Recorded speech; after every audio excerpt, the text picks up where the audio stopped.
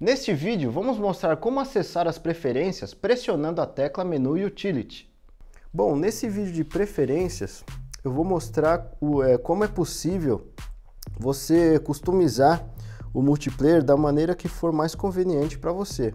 Aqui no caso, se você reparar, a porcentagem está em 16%, o master tempo está é, tá desligado, né? Então vou deixar o sync ligado.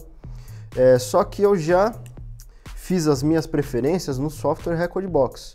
Então assim que eu conectar o meu pendrive, você vai ver que ele vai me pedir essas configurações.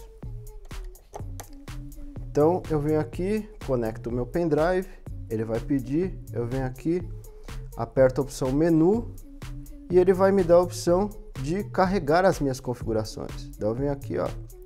Repare que ele vai mudar a porcentagem, vai mudar também o master tempo e o sync, ele vai desligar o sync. Ok? Então tá em 10%, master tempo ligado e sync desligado. Caso você não tenha feito essas configurações anteriormente, é possível você configurar na hora entrando na função menu utility. Play Mode, utilizando no modo single, ao término da faixa ele continuará na mesma, enquanto no modo continue ele carregará a próxima faixa.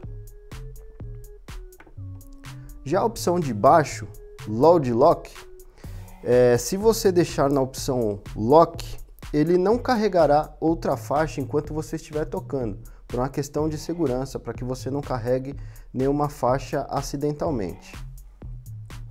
O Auto Kill Level ele serve para carregar sua faixa no primeiro kill memory, que você já define no Record Box. O Sleep Flashing é quando você tiver com a, com a opção de Sleep ligado, ele vai sinalizar através de uma luz. Aqui o display on air ele mostra qual, qual player está, está no master, né? Assim que você abre o canal, acende uma luzinha de, de player ali.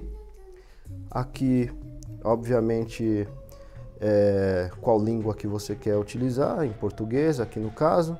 Aqui é o histórico, aqui é o, é o número do seu player, no caso esse é o 1. Eu posso mudar para 2 se eu tiver mais conectados. Aqui é o link do meu status, se está conectado ou não. Bom, aqui é o MIDI Channel, onde é possível eu utilizar com outros softwares compatíveis.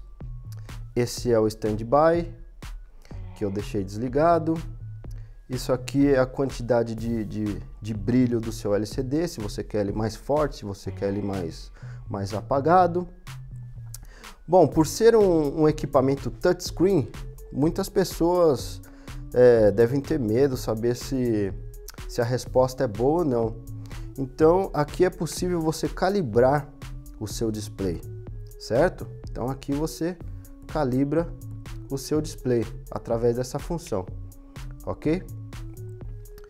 Então aqui tem o Screen Saver, caso você tenha alguma música carregada e não e não faça nenhuma ação com essa música, ele vai ele vai entrar em, em, em standby.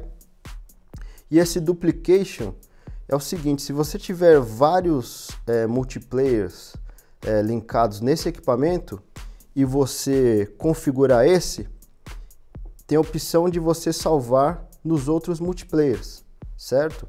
Basta você clicar aqui que ele vai salvar todas essas configurações nos outros multiplayers. E por fim, a versão do firmware do seu, do seu equipamento.